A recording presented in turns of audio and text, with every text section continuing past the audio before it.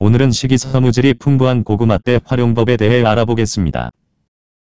고구마대는 알뿌리를 수확하기 전까지 줄기나 잎을 뜯어서 건강식으로 나물과 여러 식재료로 쓰일 수가 있습니다. 줄기에는 여러 비타민과 클로로겐산 미네랄 등이 다량 함유되어 있습니다. 특히 체내 지방의 축적을 억제하는 파이토스테롤이 함유되어 있는데 이는 여성 호르몬의 강력한 에스트로겐 역할을 해준다고 보고가 되었습니다. 그래서 갱년기 및 폐경 여성의 건강에 많은 이로움을 주고 난소의 노화와 호르몬 분비가 정화됐을 때 매우 효과적인 치료제가 됩니다. 그리고 80%의 풍부한 식이섬유질이 풍부하기 때문에 노폐물과 독소를 배출하는 데 크게 관여하게 됩니다. 또한 칼로리와 열량도 매우 낮아 내장 지방을 막으며 포만감을 주어 고도비만을 예방할 수 있습니다. 한 30대 여성분은 고구마대로만 식이로 이용해서 다이어트에 크게 성공한 사례가 전파를 타기도 했습니다. 첫 아이 때 몸무게가 급격히 늘어 30kg가 되었지만 고구마대로 부기와 살이 모두 빠져서 예전 본 모습을 찾았다는 경험 사례가 있기도 했습니다. 그리고 얄라핀이라는 성분이 몸의 대장 운동을 원활하게 하고 장 속의 좋은 유해균은 늘려 변비에 큰 도움을 줍니다. 고구마 때는 어떻게 식용에 활용하냐에 따라서 건강에 효율적으로 작용하게 됩니다. 고구마 성미는 달고 차거나 약간 평하며 작용 부위는 비와 심폐에 들어갑니다.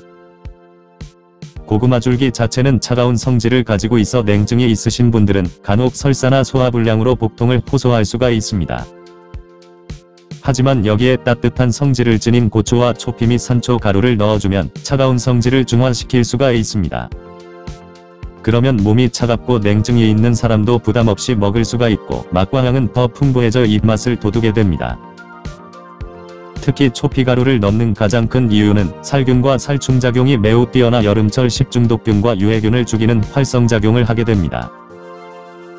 참고로 초피와 산초는 임상보고에서 요충과 주혈흡충이 모두 소실되었는데 이중 요충 환자 108명을 치료해서 대변검사 결과 모두 음성으로 나타났습니다.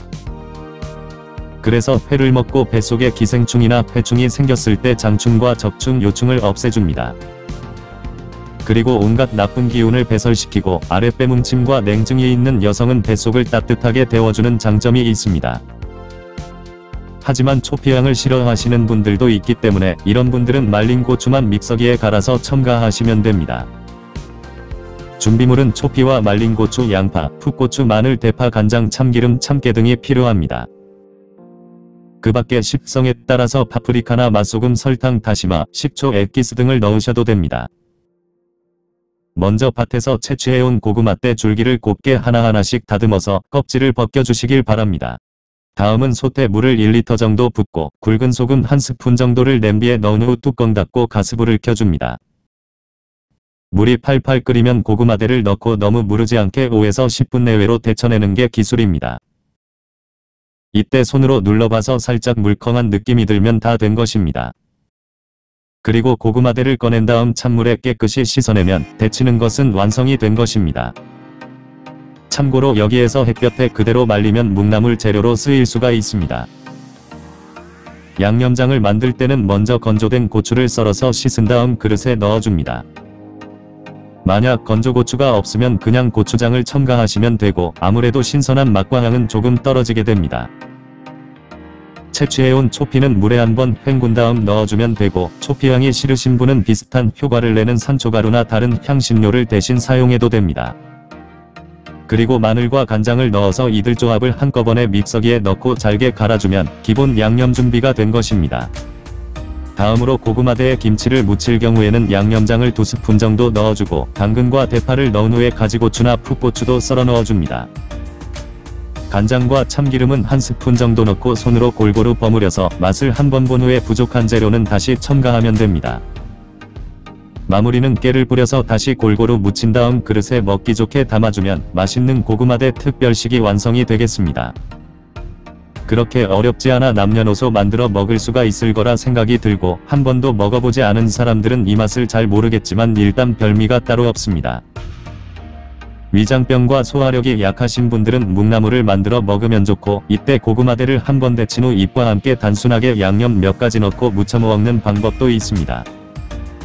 특히 암 환자와 고혈압 당뇨 환자들은 된장 무침을 해서 드시면 더욱 좋습니다.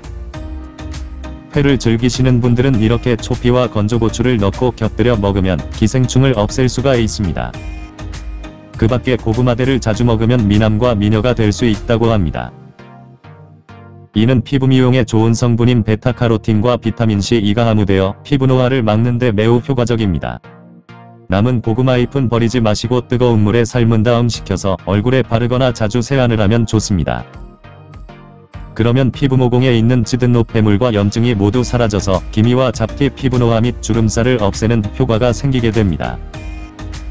고구마대는 초피와 고추를 넣으면 위장을 자극하기 때문에 너무 많이 먹지 않도록 해야 하고 위장약을 복용하거나 설사를 자주 하시는 분들은 주의해서 드시길 바랍니다. 시청해 주셔서 감사합니다.